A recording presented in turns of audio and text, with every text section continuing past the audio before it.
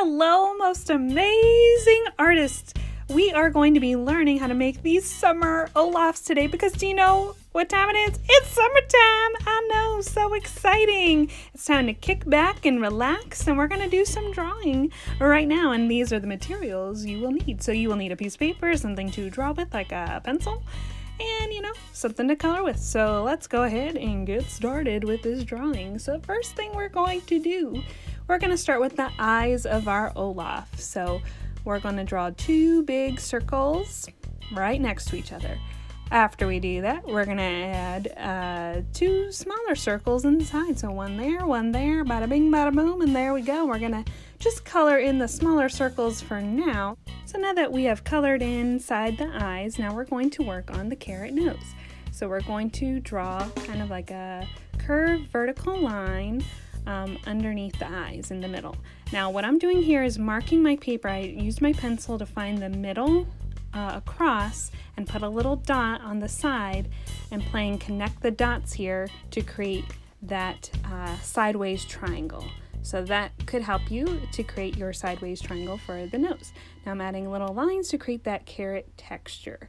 Okay, so we got the eyes, we got the nose. Now we're gonna start working on his eyebrows because he's a very happy snowman because he loves summer, right? So we're gonna add those happy eyebrows going above the eyes, kind of slightly diagonal, curved eyebrows. So that's that. Now we're gonna work on his big old smile. So we're going to come to the left eye and draw his cheek. We're drawing kind of a curved line coming out from that eye. Okay. We got that. Now we're going to add a line underneath that. This is the beginning of, of his smile. And so we're going to draw that slightly diagonal line and draw a curved line like a, a wide U coming around above the carrot nose. All right, now we're going to draw the other side of his face. So we're going to come to the um, right eye and draw a line coming out and bring it into the smile. Okay, so we got most of the head done. Now we're going to draw the top of his head by drawing a curved line, kind of like a rainbow shape around his face.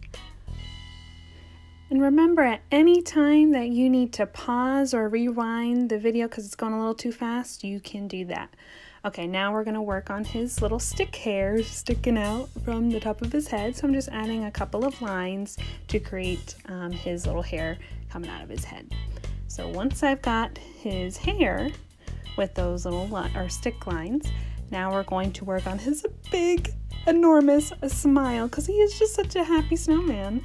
So now what we're going to do is draw a big U coming around. So I started from the left side and worked over to the right. Now he's got a big old tooth in his mouth, right? So we're gonna draw two lines and connect it with a horizontal line and I'm just gonna lightly shade in side his mouth so I know that I'll color that in darker. All right, so now I'm gonna finish off the rest of his face by drawing a line from the uh, left side and then going over to the right side, a line that kind of slightly comes in to create his long um, face. And then I'll connect those together with another slightly curved line. You did it. Now we've done the face, the hard stuff. Now we're going to work on the rest. We're going to do the body. So we're going to add a curved line for uh, one ball of snow, and then we're going to add another curved line around town, kind of like a big U shape. And then I'll add in his rock buttons. Um, I think he has one on top and two at the bottom. And the, that's it. And now we're going to work on the um, the his feet. So we're going to add again kind of two um, U-shaped curved lines for his feet. Wonderful. Okay, now we're just going to add in the stick arms. So I'm just adding diagonal line and then adding his little stick hands and fingers and all that good stuff. And I'll do that to the other side as well.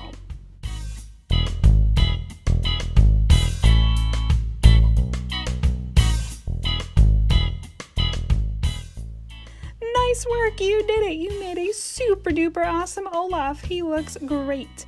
So what I'm to do now is add in a background. So where's your Olaf to be? Mine right here is to be enjoying surfing on a surfboard. So what I'm doing here is drawing two curved lines that come out um, so it looks like the surfboard is behind him. So I'm not going to draw a curved line going through, just two lines that come out. And now I'm going to connect those lines with a big curve U line to make my surfboard.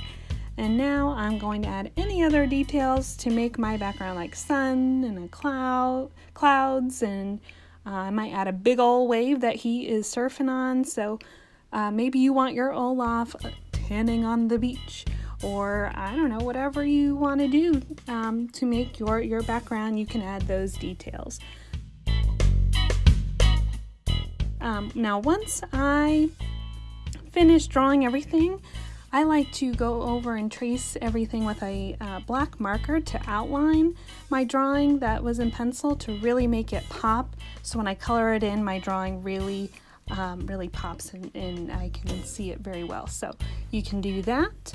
Um, you can also, which you'll see in a little bit, I'm going to add some sunglasses to my Olaf if you want to do that too. Uh, what I did, it was just draw a line that goes across and then add two little boxes underneath and add two lines coming out diagonally to make some sunglasses for my Olaf. And ta-da, that is it. Look at that, it looks so awesome. You can color in your Olaf however you would like, but I hope you had a super fun time making our favorite snowman who loves the summer. And I hope you have a super duper summer as well.